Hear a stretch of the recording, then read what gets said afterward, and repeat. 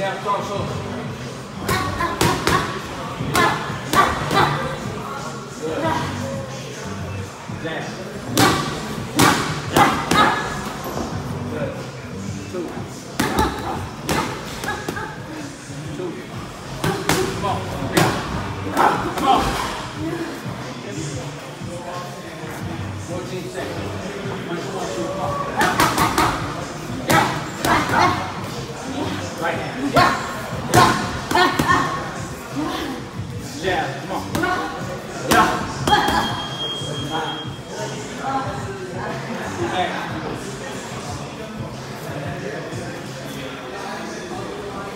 No, four back, you. I'm sorry. Four back.